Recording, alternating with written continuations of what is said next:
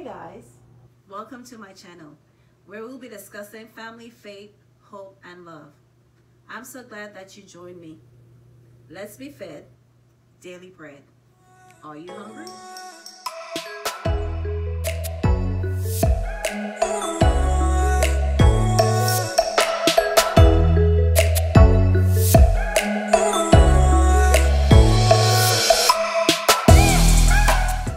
Welcome.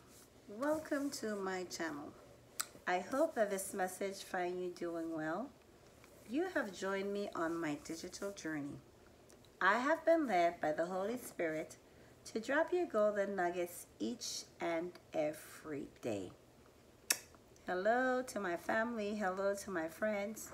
Thank you for joining me on my digital journey. Thank you for your words of encouragement. Thank you for your support. Today is actually day 318. Yep. Day 318, episode 318.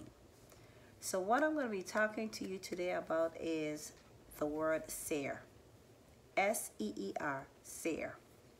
When the Holy Spirit brought this word to me, I was like, whoa. And then he gave me the scripture to go ahead and read, which was actually Psalm, First Samuel 9. So you can take the opportunity to go ahead and read that um, scripture um, so that when he gave me the definition of seer, I had a better understanding once I read that, um, that chapter um, because it says a special blessing is promised to those who recognize and receive God messengers. And then he also gave me the scripture of Second Chronicles chapter 20, verses 20.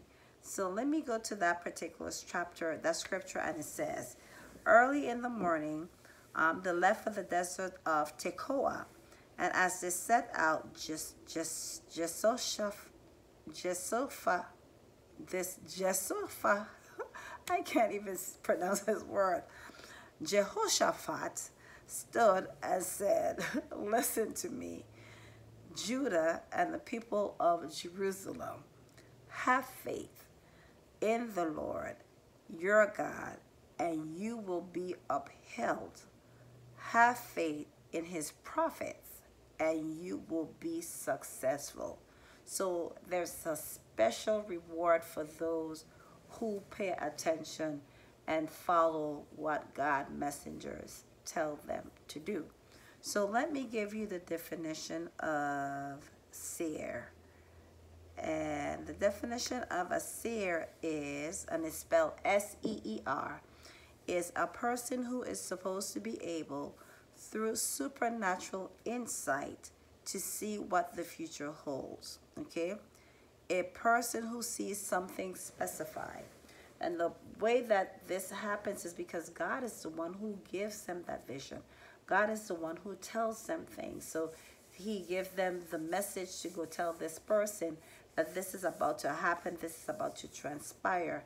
And then it is now up to that person to believe what it is that God is saying to them. And then uh, in this century, we're talking about Sarah's First thing you're thinking about witchcraft and, and, and, and all kind of crazy stuff, which has nothing to do with God and his prophets and the supernatural um, and, and the realm of the spirit. You know, people like to go left field when we start talking about God and prophets and people who can see things and don't even me talk about people who speak in tongues and it will just be a whole different thing going back and forth because that's just some people they don't believe um, and until they actually see something um, that actually happened, then they will be like, oh, AMG. That's the first time like, oh, AMG. Oh my God, it really happened for through.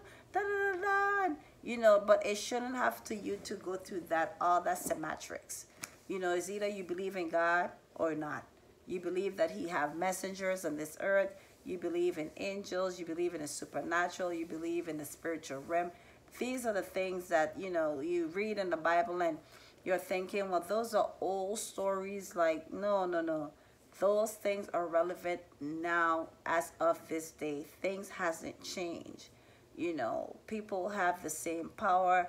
um, that God did back in the day with, you know, Jesus Christ. And, you know, it's just a lot that God has for us, but you have to take the time to study and get to know God and build that intimate relationship with Him. Um, and I am grateful and respected for anyone. Um, once I can have that spirit of discernment, which I do have, and when God send people my way and they say, hey, this is a message from God, I receive it wholeheartedly because God is source and people are resources and God will use seers, S-E-E-R. He will send someone to be able to give you a message and are you going to receive it? Go ahead, read the book of Samuel, the message that I told you, what God showed me when he told me about the word seer. Go ahead and read it, Samuel 9, and then get the idea of what it is, the gist of what God is trying to bring to you today. Um, it's a, a wealth of information. You will gain so much wisdom if you take the time and be serious about God and the kingdom. I mean, I trust, I mean, just trust and believe that God will make it worth your while. I talked about guarantee a um, couple of episodes um, a, a, a, day ago. Let me see which episode that was if I have my notes with me. Um, in reference to guarantee, that was episode 315 and today's episode 318. So, you know, a lot of stuff, promises and stuff that God has is guaranteed for us. The message is, you know, all we have to do is believe and receive, and then you will have so much blessings and rewards that comes your way.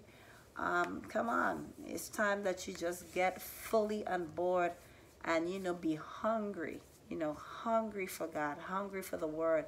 Be happy to be learning and growing and have that intimacy with God. I want it for you as I continue to strive for it for myself, okay?